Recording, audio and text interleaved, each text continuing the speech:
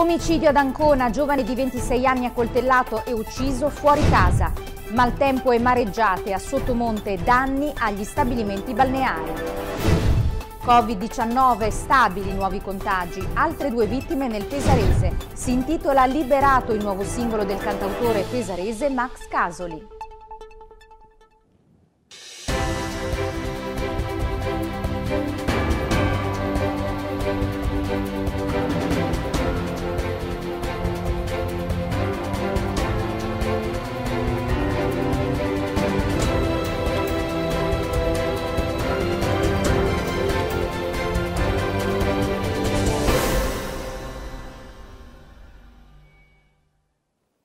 Buona serata, benvenuti al nostro telegiornale. Oggi è mercoledì 9 dicembre, questa sera apriamo con la cronaca e ci spostiamo ad Ancona per vedere tutti gli aggiornamenti di questo efferato delitto che si è tenuto ieri, l'omicidio di un 26enne avvenuto proprio ad Ancona. E allora vediamo subito questo primo servizio di Daniele Romagna.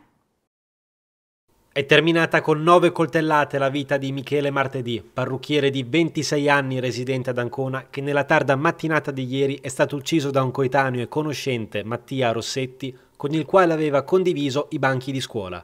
Un omicidio che si è consumato nel quartiere Pinocchio del capoluogo di regione davanti agli occhi di alcuni testimoni, mentre la vittima stava rientrando nella propria abitazione. Inutile il soccorso dei sanitari giunti sul posto, le lesioni inflitte al 26enne dall'aggressore con un coltello a serramanico hanno reso vano ogni tentativo di rianimazione. Sul luogo della tragedia sono prontamente intervenuti anche i carabinieri di Ancona che in pochi minuti hanno rintracciato l'omicida, il quale dopo essere fuggito si era rifugiato a casa di alcuni conoscenti. Proprio dalle indagini avviate dalle forze dell'ordine per risalire al movente che ha spinto Rossetti a compiere il tragico gesto, sono emersi dettagli che lasciano presagire di un astio nei confronti della vittima già manifestato i giorni prima rispetto all'accaduto. L'aggressore, che pare soffrisse di problemi psichiatrici già da diverso tempo, aveva caricato sui social un video nel quale accusava la vittima di essere responsabile di alcune vicende personali intercorse tra i due. Dichiarazioni legate alla sfera amorosa in cui martedì era accusato di aver rovinato una relazione sentimentale dell'omicida, fino ad arrivare ad accuse improbabili e prive di senso. Rossetti, tra le altre cose, sosteneva che l'ex compagno di scuola fosse il responsabile dell'omicidio del cantante di una nota band inglese. Sempre grazie ai primi dettagli emersi dalle indagini dei carabinieri, sembrerebbe che nel pomeriggio antecedente alla tragedia l'aggressore sarebbe uscito di casa minacciando di volersi vendicare nei confronti di martedì. La madre del killer, allarmata, avrebbe prontamente contattato la polizia per rendere note le intenzioni del figlio. Le stesse forze dell'ordine poco più tardi si sarebbero recate a casa della vittima per informare la famiglia di quanto annunciato da Rossetti. Informazioni che confermerebbero quindi le intenzioni dell'omicida messe in atto il giorno successivo. Dopo il fermo, il killer ha confessato quanto commesso ed è stato arrestato dai carabinieri.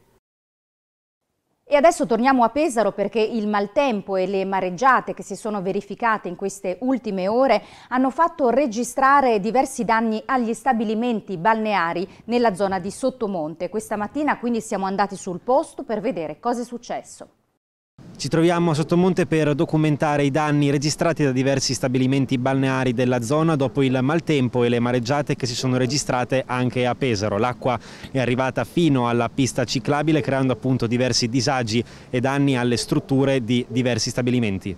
Le immagini immortalate e caricate sui social dal titolare di Bagni Due Palme, Riccardo Pascucci, testimoniano un problema già noto ai gestori degli stabilimenti. L'acqua che continuando a salire elimina metri di sabbia rappresenta un rischio non soltanto per cabine, bar e tutte le strutture delle spiagge, ma anche per la stabilità della ciclabile. Disagi per i quali è necessario trovare soluzioni anche in vista della preparazione per la prossima stagione, come sottolinea il gestore di Bagni Margherita, Raniero Dragomanni.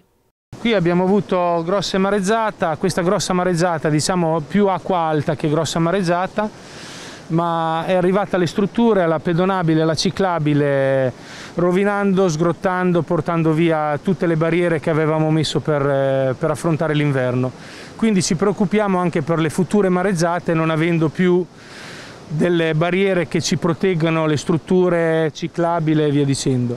Cinque anni fa abbiamo avuto una grossissima mareggiata, sempre da Levante, eh, ha divelto tutte le cabine lato sud, eh, pedonabile, ha rotto la ciclabile, eh, grossi danni. Abbiamo dovuto rifare tutti i plinti in tutto il perimetro del bar ristorante, rifare tutte le pavimentazioni, ristorante, docce, cabine, camminatoi abbiamo e abbiamo incollato alcune parti per paura che il mare potesse riportarle via.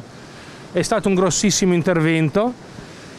Lavorare d'inverno anche perché è successo a febbraio, avevamo la stagione alle porte, abbiamo dovuto lavorare anche sotto la pioggia.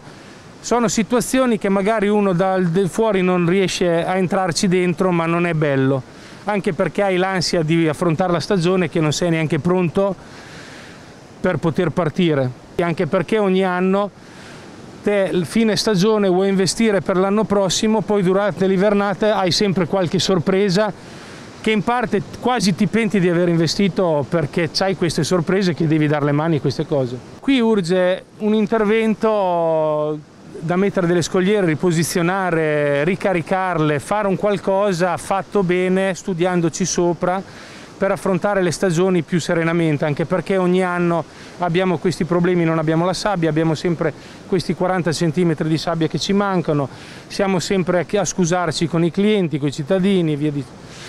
È, è ora di schiantarla, di, di finire, di, di andare avanti con un progetto unitario per tutti qui nella zona che stiamo soffrendo questa erosione. È una delle zone più belle di Pesaro a mio avviso, abbiamo il monte, abbiamo il mare che è bello, è... c'è silenzio, cioè è un posto magnifico, lasciarlo così è un peccato. Le mareggiate hanno causato un arretramento della spiaggia anche lungo gli stabilimenti di Viale Trieste, mentre diversi detriti sono stati ritrovati nel camminamento di lungomare Nazario Sauro e anche nella zona del porto, dove grandi onde hanno imperversato anche nel fine settimana sempre a causa del maltempo. Ed ora il consueto spazio dedicato agli aggiornamenti del coronavirus. Il Servizio Sanità della Regione Marche ha comunicato che nelle ultime 24 ore sono stati testati 2.087 tamponi, 1.246 nel percorso nuove diagnosi, 841 nel percorso guariti. I positivi sono 229 nel percorso nuove diagnosi con 83 nuovi casi in provincia di Pesaro Urbino. Il Servizio Sanità informa inoltre che nella giornata di ieri si sono verificati stati quattro decessi, due erano residenti nella provincia di Pesaro Urbino e che di altre cinque persone decedute nei giorni scorsi è stata definitivamente accertata la diagnosi di Covid.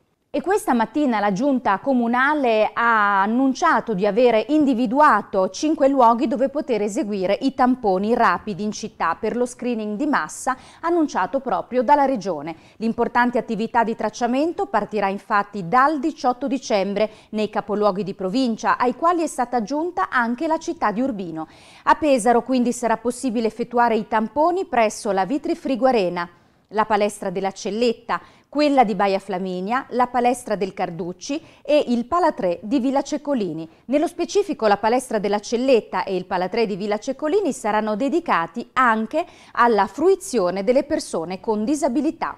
Di forte attualità è senza dubbio in questi giorni il tema del vaccino per il Covid-19. Da giorni ormai si discutono infatti le soluzioni migliori per poterlo conservare in sicurezza e adeguatamente al suo arrivo. In merito a ciò, la Rivacold, nota azienda del territorio, grazie alla produzione dei motori di refrigerazione per le celle eh, frigorifere, sarà determinante nella gestione e nel trasporto delle dosi. E allora ce ne parlano nel dettaglio in queste interviste il vicepresidente del gruppo VAG Alessandro Vitri e il responsabile del VRL Filippo Lucchetti. VAG è, diciamo, è composto da, principalmente da tre società, eh, queste sono Rivacold, Vitrifrigo e RAV. Eh, Rivacold opera nel settore dell'appunto della refrigerazione, realizziamo gruppi frigoriferi eh, diciamo per diverse applicazioni, quindi che vanno dai vari or, diciamo nei mercati dell'Oreca, nei mercati, supermercati e medicale che è oggi un punto eh, alquanto sentito. Il, Vitrifrigo invece è l'altra società dove realizziamo frigoriferi completi, diciamo per il settore dell'hotel, eh, camper, navigazione e anche in questo caso per il medicale soprattutto in ambiti portatili.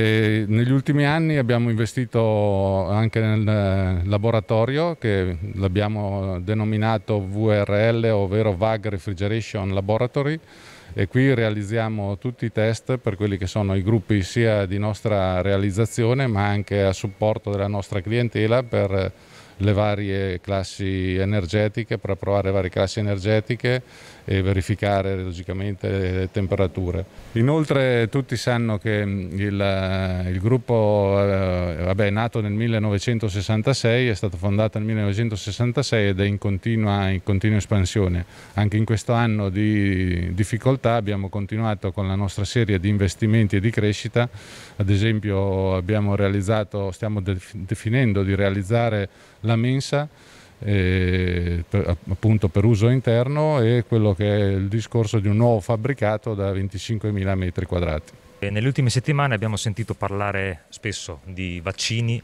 che proteggeranno la popolazione dal Covid-19 e abbiamo sentito parlare anche di trasporto e di conservazione eh, di questi vaccini che eh, variano a seconda della tipologia di vaccino nelle varie temperature.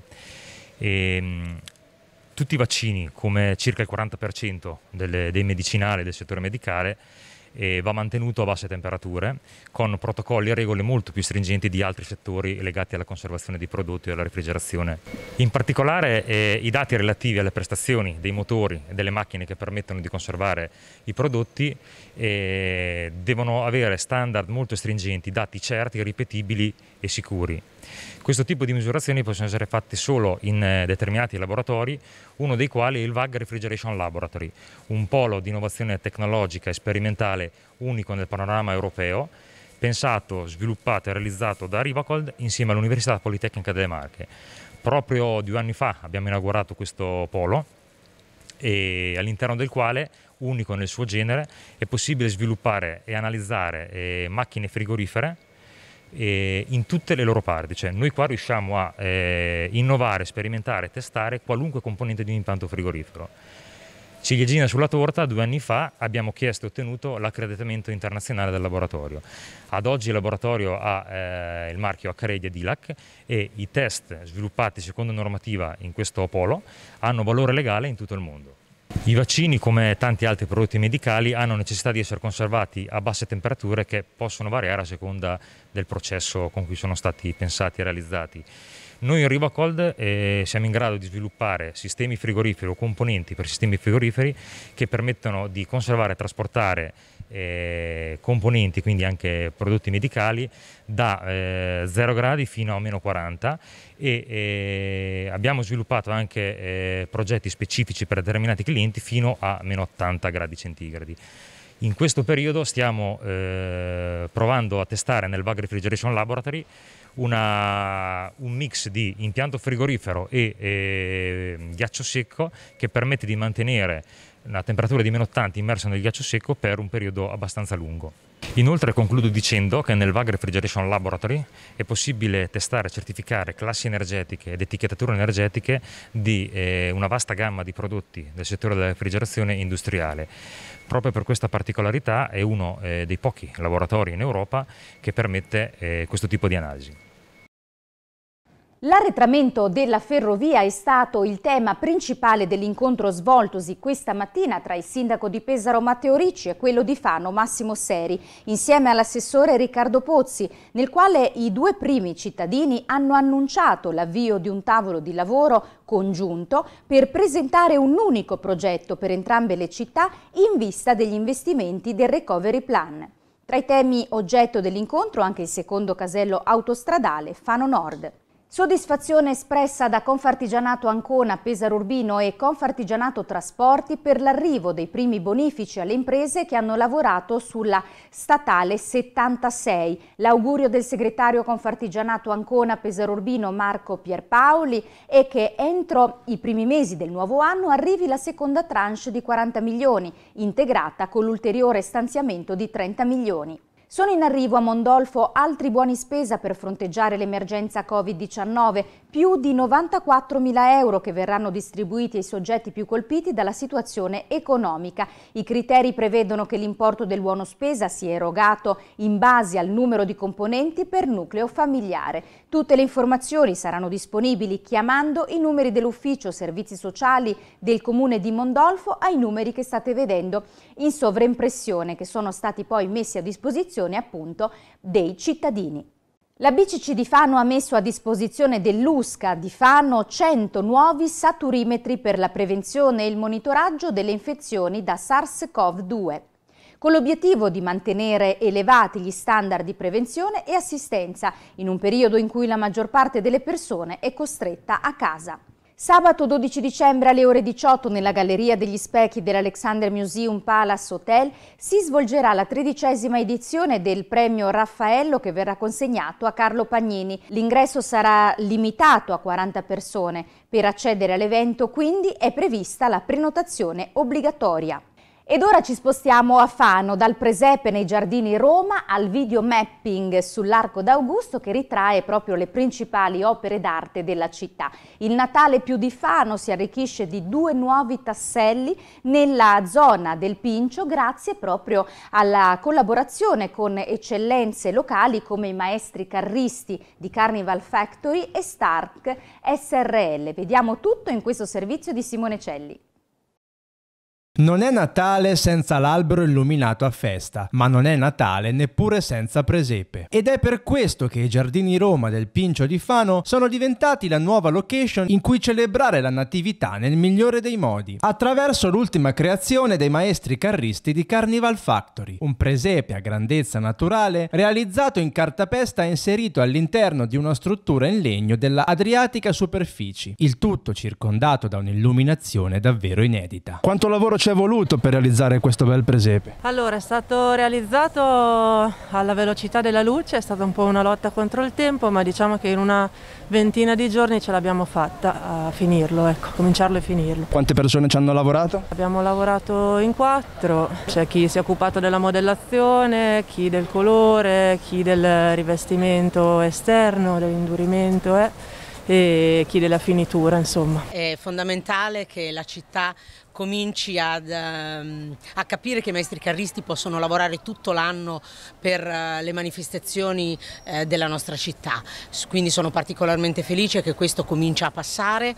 Uh, Quest'anno abbiamo questo magnifico presepe che con la prospettiva che nei prossimi anni si diventi sempre più grande e poi noi speriamo di vederci prestissimo per il nostro amato carnevale. L'idea del presepe al Pincio è frutto di un brainstorming tra l'architetto Stefano Seri, il comune comune di Fano e la Proloco Fanum Fortune, vero e proprio braccio operativo dell'amministrazione. Siamo molto contenti di tutta la suggestione che è nata quest'anno per il Natale perché considerando tutto ciò, considerando tutte le tutta la situazione che del momento abbiamo secondo noi creato una bella cosa suggestiva eccetera. Le luci sono fantastiche e speriamo nonostante tutto in un Natale migliore e in una luce migliore per tutti per il nuovo 2021. Non solo presepe però, perché in un periodo in cui l'arte si ritrova confinata all'interno di musei resi inaccessibili dal Covid, l'amministrazione comunale ha pensato di far uscire virtualmente allo scoperto le opere e i principali monumenti della città, proiettandoli direttamente sull'Arco d'Augusto grazie al videomapping di un'altra eccellenza del territorio, la Stark SRL, il tutto sotto l'attenta supervisione di Cesare Ottaviano Augusto. C'è tanta collaborazione in città, tanta voglia di guardare al futuro in questo Natale così particolare, così la città di Fano si è veramente arricchita di una serie di installazioni in ogni punto della città, come il cielo stellato in piazza Costanzi, l'albero del Signore Seri Porta Giulia e il grande albero di piazza 20 settembre. Oggi scopriamo questo pincio, una location così suggestiva ma che ha un'ulteriore suggestione, quella dell'illuminazione, quello del presepe realizzato dai maestri carristi della città di Fano e anche quello della proiezione sull'Arco d'Augusto che presenteremo proprio eh, tra qualche istante che rappresenta così la voglia di continuare a guardare le nostre identità artistiche e culturali. Speriamo il prossimo anno di poter ripartire con il nostro programma White Dog, questo eh, programma dedicato alle band emergenti che veniva registrato nei locali del nostro territorio, chiaramente l'abbiamo dovuto interrompere causa Covid, prossimo anno lo riprenderemo. Alla conduzione di questo format TV c'è Max Casoli che oggi però ve lo presentiamo in veste di cantante perché ha appena finito eh, la registrazione di questo nuovo singolo che si chiama Liberato e vediamo adesso anche un estratto del suo videoclip la cui regia è affidata a un altro collaboratore di Rossini TV, Francesco Mazzetti.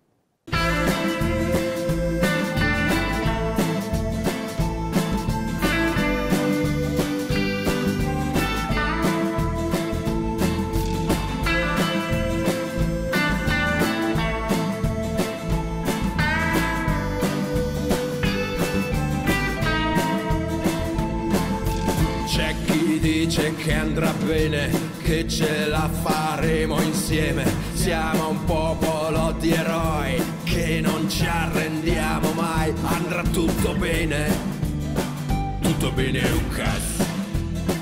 In eh, tempi record eh, è stato realizzato a livello di idea nella prima pandemia dove ci si è trovati, mi sono trovato a casa e con la chitarra ho cercato di buttare giù eh, le sensazioni che provavo in questa estensione spirituale tra depressione e vita familiare che comunque è stata una cosa abbastanza piacevole. Quindi alla base diciamo sentimenti contrastanti per eh, un progetto che è nato in un periodo molto particolare. Eh certo, eh, diciamo che con Cane Bianco abbiamo sempre trattato argomenti eh, di questo genere, ad esempio l'LP del 2013 eh, dal titolo Intignato parlava appunto delle, della situazione eh, praticamente umana e Intignato non era altro che un parassita che di solito attacca i cani e si ciba delle cellule del cane, della pelle del cane. E questa cosa, eh, diciamo purtroppo, si allaccia molto bene alla realtà attuale, perché al di là del virus il vero problema è la, il nostro degrado come società, come a livello ambientale. E questi sono i temi che abbiamo sempre trattato ed è stato molto facile arrivare ad, a realizzare Liberato, che poi è un sentimento personale dove eh, mi sento mm, addosso una situazione di non appartenenza a nulla e a nessuno. E quindi per chi fosse interessato a conoscere Liberato, questa nuova produzione, dove è possibile trovarlo? Allora, è possibile trovarlo innanzitutto su YouTube, l'abbiamo già caricato il giorno del, dell'ultimo decreto di Conte e quindi alla voce Cane Bianco liberato lo trovate. E un altro progetto che è stato momentaneamente messo in pausa a causa del lockdown e della situazione che ci siamo trovati a vivere in questi mesi è anche una produzione invece di Rossini TV con la tua conduzione White Dog. Ti ringrazio per la domanda perché ci tengo in particolar modo a questa situazione che si è dovuta stoppare appunto per, per il lockdown e abbiamo registrato la puntata zero qui con eh, Ruben dei Camillas, è andata molto bene, ha creato tante aspettative. Abbiamo registrato la prima puntata al Caffè della Fortuna, è andata benissimo, sta, abbiamo avuto come ospite Daniele Di Gregorio e il Trio Chaos, una band emergente che eh, vedremo presto perché comunque ha vinto il concorso di Arezzo Wave e, e si sta facendo strada. Poi eh, la seconda puntata che abbiamo registrato e andrà in onda al, eh, diciamo, più presto, quando tutto riprenderà. Devo dire che questa l'abbiamo registrata al Brillo di Fermignano, un sacco di gente, e sono successi anche aneddoti molto interessanti che però vi racconteremo strada facendo perché eh, White Dog è praticamente sospeso ma riprenderà, riprenderà molto molto molto molto più vivo e come dire audace di prima. Vedo il viso, il tuo sorriso e sono rinato, sono liberato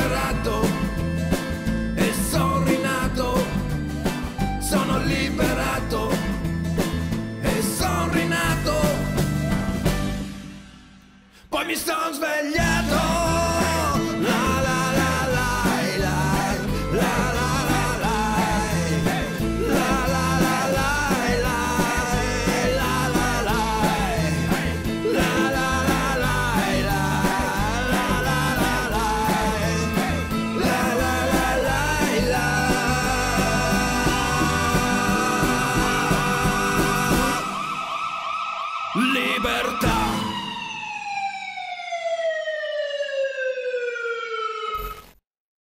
E allora davvero complimenti a Max Casoli e state collegati su Rossini TV perché se siete appassionati di musica il prossimo anno torneremo assolutamente con il programma White Dog. Intanto andiamo a vedere di cosa parleremo questa sera in prima serata alle 21.15. Vi mostreremo questa importante azienda agricola che si chiama Nonno Ciro e a Valle Foglia e insomma vedrete il racconto di questa azienda familiare. E poi vi ricordiamo anche che domani alle 17 in diretta trasmetteremo la giornata delle marche, le marche che resistono, i nuovi eroi, testimoni del nostro tempo. Non perdetevi questo appuntamento perché sarà in diretta in tutte le emittenti regionali. E vi ricordiamo anche la partita in diretta su Rossini TV, Ital Service Pesaro, Sandro Abate Avellino alle ore 20.30. Non perdetevi questa giornata numero 30 in diretta dal Pala Nino Pizza. E allora ho detto veramente tutto, io adesso vi lascio con il meteo, vi ricordo il prossimo appuntamento con l'informazione domani alle 7.20. Buona serata.